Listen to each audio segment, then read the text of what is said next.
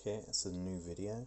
Um, I managed to get the SCART to JAMMA adapter working. As you can see, a lot clearer. Um, needs some adjustments on the uh, TV circuit board, but very clear, much clearer than the other adapter I was using. So glad I got this working.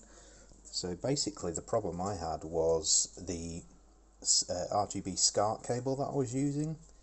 Uh, it was supposed to be 21 pin fully wired.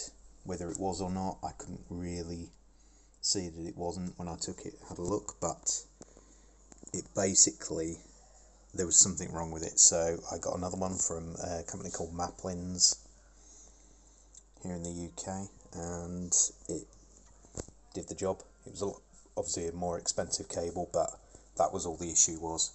So basically, I've got um,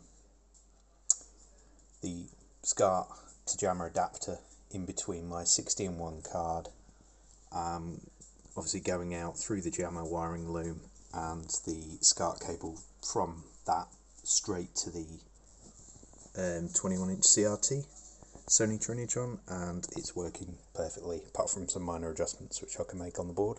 So yeah